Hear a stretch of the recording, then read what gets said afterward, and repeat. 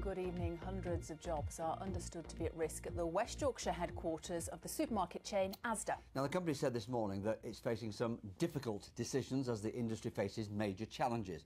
Phil Bodmer is live in Leeds for us now. Phil, what's the company been saying? Well, Harry, Asda says these are challenging times, and indeed it's been a difficult day for the staff employed here at Asda House on the banks of the River Aire. The company says it's under intense pressure from the internet and also the discounters like Aldi and Lidl, and all it's really doing is reacting to the changing circumstances. Some 3,000 people are employed at Asda's Leeds head office.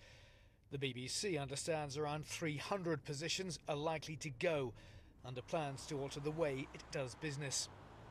The company, which is owned by the American based Walmart Group, says radical changes to consumer shopping habits has left them with little choice, a sentiment echoed by retail analysts. Organisations like Aldi and Lidl have come into the marketplace who offer brilliant transparent pricing and Asda is really starting to lose their way in who they are and what they stand for every organisation that's struggling needs to make itself as lean as possible. And that means you've got to take away that weight of management structure that isn't perhaps needed and make sure that you don't have those big wage overheads, trying to make you as efficient as possible for what's going to be a challenging future in this marketplace. Asda have got to again work out what they're going to do to set their position not just for this year but ongoing, trying to win customer loyalty and make sure the customers keep coming back.